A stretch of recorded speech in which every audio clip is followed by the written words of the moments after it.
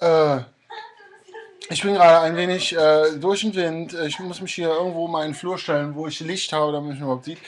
Ich bin ein wenig schockiert. Ich habe gerade die Reaktion von Bundeskanzlerin Angela Merkel auf den Tod von Bin Laden gesehen und bin, bin außer Fassung.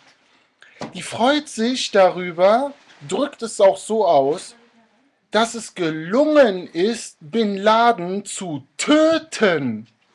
Nicht ihn gefangen zu nehmen, unschädlich zu machen, ihn irgendwie, keine Ahnung. Sie freut sich, dass es ihm dass es gelungen ist, Bin Laden zu töten.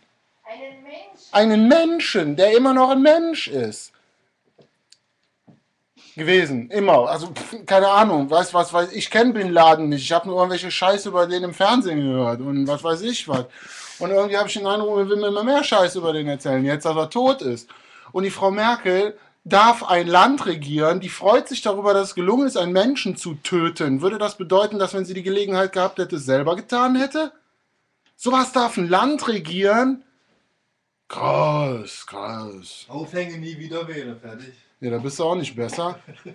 Also, Nee, auch ne, aber sorry, wie kann der denn, wie kann der denn überhaupt jemand hinterherlaufen? Basti mal. müsste aufpassen, dass er sich nicht, dass er sich nicht irgendwann freut, dass, dass es gelungen ist, euch zu töten. Ne? Schon ein Video, oder?